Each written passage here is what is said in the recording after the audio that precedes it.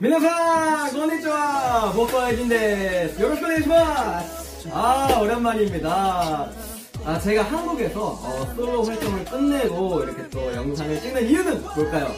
바로 일본에 가기 때문입니다 바로 9월 6일은 도쿄에서 9월 8일은 오사카에서 의진이의 팬미팅이 개최가 됩니다 아 정말 오랜만이죠 아마 보고 싶었던 분들 정말 궁금했던 분들 굉장히 많으실 텐데 또 한번 재미나게 놀아볼 수 있는 장을 한번 마련을 해봤습니다. 어, 정말 자세한 내용은 어, 첨부된 링크를 한번 확인해 주시고요. 어, 정말 특별하게 많은 무대를 또 준비했으니까 기대 많이 많이 해주시면 좋을 것 같습니다.